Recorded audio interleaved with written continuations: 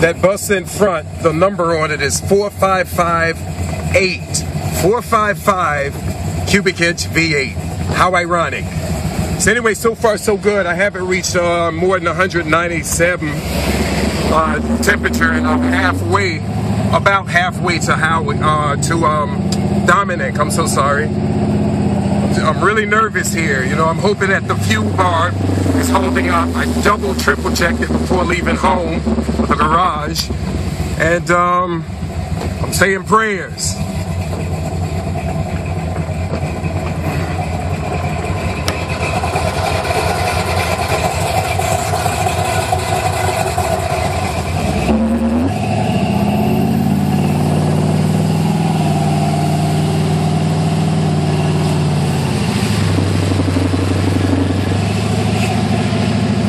I'm not going to risk it anymore. I'm ending the video now.